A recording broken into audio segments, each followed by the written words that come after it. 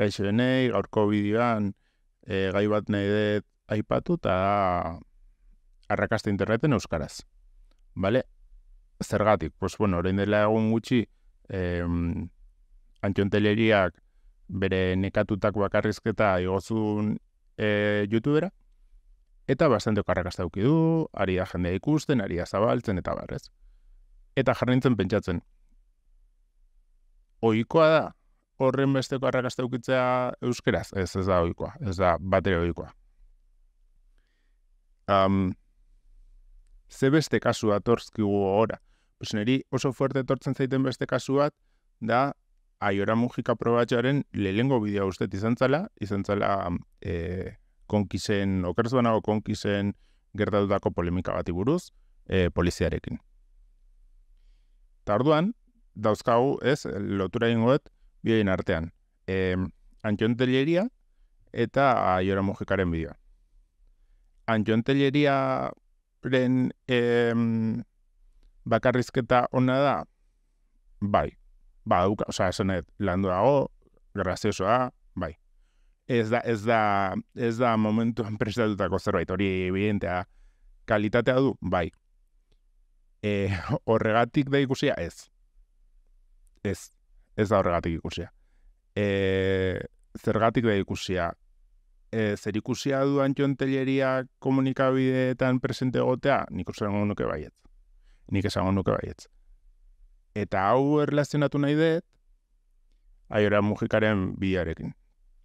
Aiora mugikaren bidea mm, telebista saio batean eta poliziarekin kontuan eukita. Euskal Herrian poliziarekiko maitasuna oso ondi izan dela. Gertatutako gauza bat buruz ez balitz, beste zerbait buruz balitz, arrakasta berdin eukiko luke?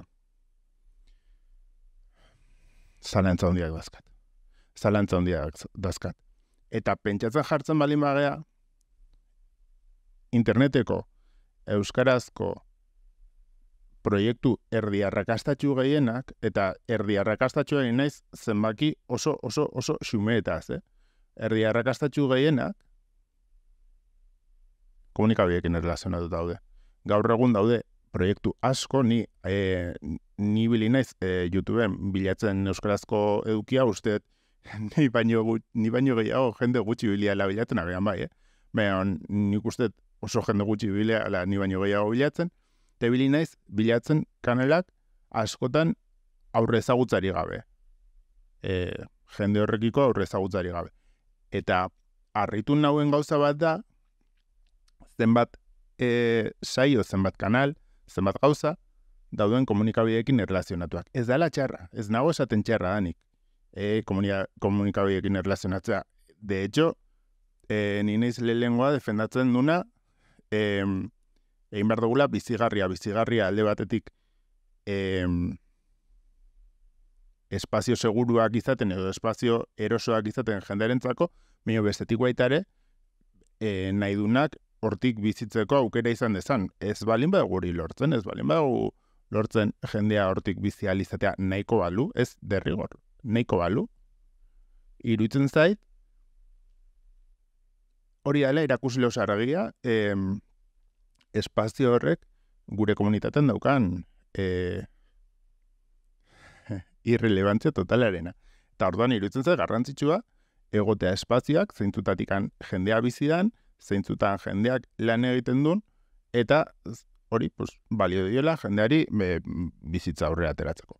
Hori garrantzitsua iruditzen zait. Baina, komunikabideak ez dia horren beste. Komunikabide bakoitzak agenda duka, bere agenda. Ez gara hemen sartuko, azertzen zein da negokia, zein ez da negokia. Baina, irutzen zait, garrantzitsua eta gaine, irutzen zait interneten mm, e, gauza relevante bat hori dela, inolako babesi gabe naturalki gauzak ezagutzera ematea. Kau, zer gertatzen da? Naturalki gauzak ematea, ezagutzera ematea oso zaila da, komunitate oso txikia zeanean. Komunitate oso txikia zeanean, jarri behar da, komunitate guztia ados, zerbaiteko benetan petatzeko. Eta hori ezak pasako, hori ezak gertatzen normalean. e, lehen, e, badago diren bat hortikan, ego nintzela kontuak egiten, e, ea zenbat pertsona jarri behar ginen ikusten aldi berean eduki konkretu bat, e, Twitchen e, ateratzeko ikusienen artean. Eta barbarie bazan, praktikamente jarri behar ginen, e, Euskaraz genekin guztiak ikusten zerbait konkretuki, eta alarez genuen lortuko Twitcheko, edo gertaziteken ez lortzea Twitcheko eduki ikusiena izatea momentu horretan. Hortik abiatzen geha. Abiatzen geha, gainera, eh, ez dagola, interneteko kultura ez dagola euskararekin erlazionatua. Interneteko kultura dago inglesarekin erlazionatua, dago gazteleakin erlazionatua. Nik ikuste ditut bideo pila bat, asko, e, inglesez, gazteleraz, katalanez esan barren, baina katalanez ditut ikusten bideo asko. Inglesez eta gazteleaz asko ikuste ditut. Asko. Eta adibidez, niri interesatzen zaiten espazio bat, super relevante iruditzen zaitena, da mm, tutorialena. Tutorialak egiten badituzu, oso espezifikoak balin badia, euskeraz egiten badituzu, horrek eukiezaken noi hartzuna, horrek eukiezaken harrera oso mugatua da. Oso mugatua da. Ez, ez aitu jende asko ikusiko. Zen, ez daia hizkuntza jakin behar dutela, eski gainera euki behar dute, eduki ultra espezifiko horrekiko interesa. Hori ez da gertatzen. Orduan, daude em, komunikabietatik kanpo garatzen dian edukietan, dauzkazu bi gauza kontra komunitate txikia gea, eta gainera ez daukazu inolako babesik. Bueno, iru. E, komunitate txikia gea. Ez daukazu inolako babesik, eta gainera e, egiten duzu gauza minoritario baten inguruan. Horrek, munduko eduki honen egin dezakezu, ez du leukiko inolako azkuntzarik. Kostatuko zaio asko, asko, asko, asko, asko aztea. Eta hor beste gauza badago. Nola inglesezko eta gazteleazko komunitatea dian oso handiak, frantsesezkoa ez dakit e, handian, baino nesango nuke gaztelerazko asko handiagoa dela. E, nola dian oso handiak, agenda markatzen dute. Eta esaten dute, hitz egingo da ontaz, eta hitz egingo da hemendik. Tarian zuri, Euskaldun eta Euskal Herritar bezala, ez aizu interesatzen hortik hitz egitea. Agian, zu agian zuri interesatzen zaizu eztabaida edo dana alakoa kokatza beste puntu batean. Mi claro, hor daukazu erazo bat. E, mundu errealeko e, eragilei ez aia interesatzen sarean gertatzen dena. Sarean dabiltzanei ez aia interesatzen zure ikuspuntua, porque daude kondizionatuak, inglesezko eta gazteleazko eta frantsesezko komunitaten gandik nola sortzen duzu hor e, euskarazko espazio bat? Nola sortzen duzu Euskal Herritik begiratutako espazio bat? Hori oso zaila da. Hori oso zaila da, eta iruditzen zait, e, oso garrantzitsua dela egitea, mio gainera, iruditzen zait, e, hori egiten saiatu behanak, topatu gala oztopo askorekin. Ni nabil, azken urteetan, ez da gizan bademora, egia esan, ez e, luzea egin zait, baina, oza, igual, igual urte bada, nik uste gehiago dela, eh? baina, haien urte bada. E, nabil, bastante tematua, e, egiten elkarrezketak, egiten gauzak, Euskal Komunitatearentzako interesgarriak izango dianak, Euskal Komunitateren agenda marka, e, interneten jarriko dutenak. Baina, hitz egin detenetan, eski esplikatu behar nien zer zan Twitch eragileei, euskalgintzako e, gauza ezberdinei, e, talde ezberdinei, esplikatu behar nien zer zan Twitch. Eta askotan, sentitu ditut jendearen beldurrak, sentitu ditut jendearen aurre iritziak, sentitu ditut jendearen frenoak. Eta, berrez komunikabidetara bueltatzen, komunikabide bat balin bazea, berdin du, oza, munduko txikiena izan da ere.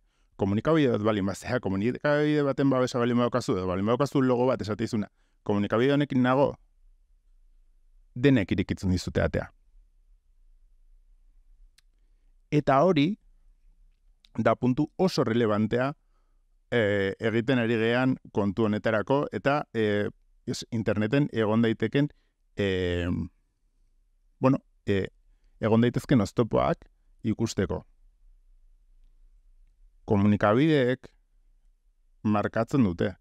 Eta komunikabidetatik kanpo dagona, eta interneten, interneten potentziala hori da. Osea, interneten potentziala da norbait jartzea bere webcam kutrearekin. Eta, bueno, nerea kutre kutre ere ez da, baina e, norbait jartzea bere webkamarekin eta bere gelan, eta hortik konspiratzea. Hori da interneten potentziala. Osea, interneten potentziala ez da e, kioskoan e, daudenei ahotsa beste leku batean ematea.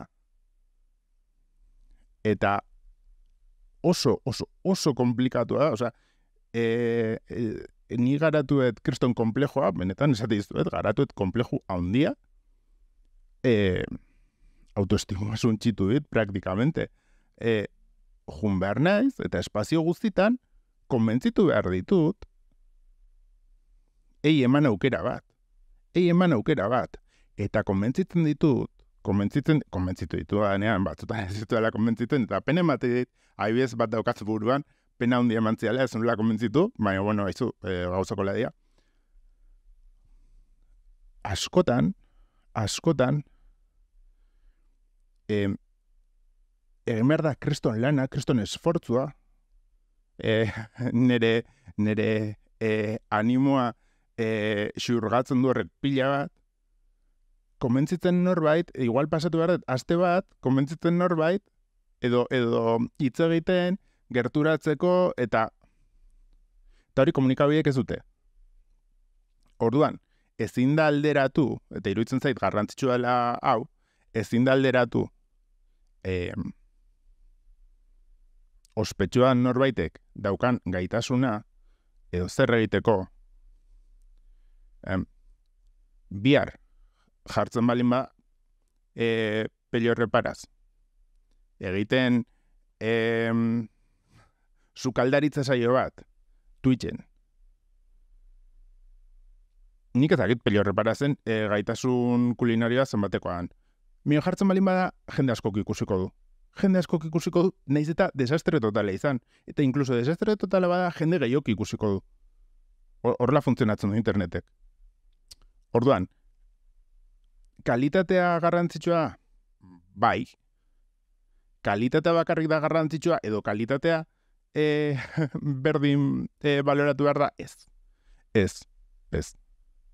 Um, ez da berdina, zuk zure orduko, oza, zure eguneko ordu oberenak, inbertitu alizatea baliabideekin eduki sorkuntzerako, edo lan egin behar izatea lan egiten dezunean nekatuta iristea, eta nekatuta zauden momentu hori baliatu behar izatea jendearekin hitz egiteko, e, ez ezagutza eta mesfiantza posizio baten agertuko zaizun jende batekin hitz egiteko, zerbait egiteko. Ez da berdina. Eta e, horre kontsumitzen duna ez da berdina. Orduan, emaitza ezin da berdina izan, ere ez? Ez ezin da berdina izan.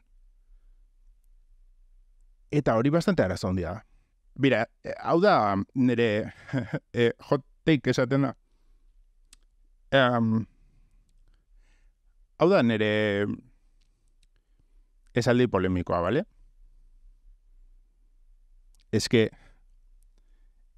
um, Euskal Gintza tradizionala Euskalgintza tradizionalarentzako herrietan antolatu dagoen Euskalgintza, e, kalean bilerak egite ditu Euskalgintza, Euskalgintza horrentzako ez da gai bat sarean gertatzen dana.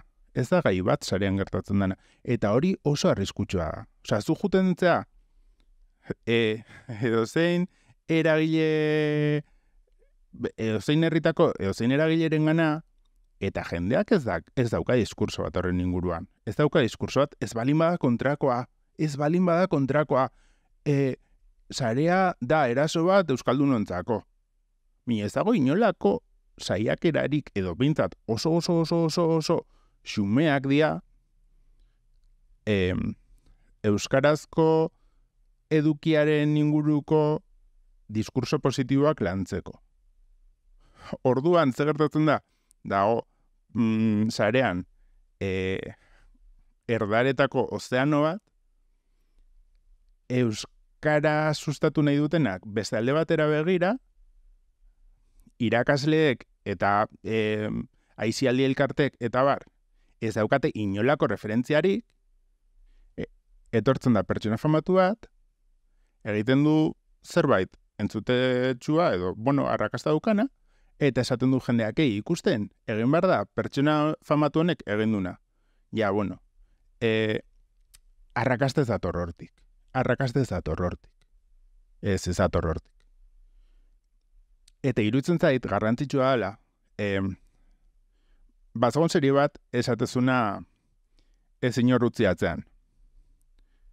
Iruditzen zait hori bastante, bastante klabea dela gai honetan. Nere ustez, arrakasta baliatu beharko litzateke, ez horren beste, elitea, eliteago egiteko, baizik eta txikiei espazio gehiago emateko. Txikiek eukitzeko erreztasun gehiago gauzak egiteko. Txipak aldatzeko. Eragileek esateko, ei, guazen ematea espazio bat honi. E, horretarako, arrakastak horretarako baliatu beharko liateke. Ez liateke baliatu beharko eta irutzen zaita katsu badala, arrakasta daukanean norbaitek esatea, ei, eski hori egin behar da, ez. Ez da hori egin behar, besteak beste, hori dalako behin, kertatuan zerbait, eta per, e, pertsona famatu batek egindakoa eta baliabideak ditun eta e, horri denbora eskaini aldion posizio batetik egindakoa. Baina hemen, kanal honetan, adibidez, daude bideoak, ez, astero ere, baino bastante bideo daude urtean, e, Twitchen dao jendea ez ba egunero astero, TikToken dago jendea ez ba egunero astero gauzak egiten, eta gehienek daukate relevantzia sozial nula. Eta e, Euskarazko e, espazioetan ezagutzen dira justo. Eta e, erreferentziak emateko edo, edo jendea euskerara eramateko gaitasuna dutenek, euskaltegitako irakasleek, aizialdi elkartek, e, udaletako euskara zerbitzuek, ez dituzte ezagutzen. Ezken eri hori irutzen zait, askoz garrantzitsuagoa, bideo batek, arrakasta ukitza baino. Ei, eta denek ikusi, e, denek ikusi nekatutak, eske, benetan, e, oza, hori, hori argi gelditzen nahi, hau ez da, nekatutaki jeita. Osa, ni pa dios. Ez. Ez nago hori esaten. No ez dauka zer ikusirik. Nekatutak behar da? Bai. Nekatutak gehiago behar dia? Bai. Egunerokotasunean Euskarazko edukizorkuntza eta interneten eta YouTubeen eta TikToken eta Twitchen eta barren Euskarazko edukia egiten duten jendei konfiantza eman bartzaie babestu behartzaie eta beintzat beintzat oztopak ez jartzea lortu behar dugu bai. Ojo, ez nago esaten e, alfombra gorria jartzeko, eh? Oztopak ez jartzeko, oztopoak ez jartzeko. Kau, osea, eske re relevante iruditzen zait hori. Relevante iruditzen zait, eskatzen ari dana, ez dala esagerazio bat. Eski iruditzen zait, oinarrezkoa zuk euskara sustatu nahi bali mazu oso ondo, bai sustatu. Ya está. O sea, euskara sustatu nahi ez zu, guai. Bar, barku berdinean guaz, ba sustatu. Sustatu. Claro. Eta horri iruditzen zait, asko sartzen dela hanka em, egiten diala analiziokerrak, e, ez diala ikusten sektore batzuk, eta esan, esaten diazu, jo, eski ez dut ikusi sektore hori, ja, mm, eski igual okerragoa da. Eski igual sektore hori ez ikustea okerragoa da. Zer, zer da, zer da hobea? Zer da hobea? Sektore bat ez ikusi eta horrekiko gaizto izatea edo zuri inporta izun eremuko sektore bat ez ikustea bera.